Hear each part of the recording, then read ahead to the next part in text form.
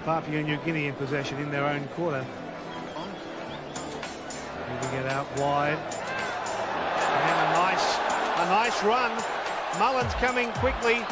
The Papua New Guineans keep the football alive, and they're looking very threatening. And this is going to be a magnificent... Papua New Guinea may have been pipped in the plate final by Canberra, but they deserve bonus points for innovation with this touchdown.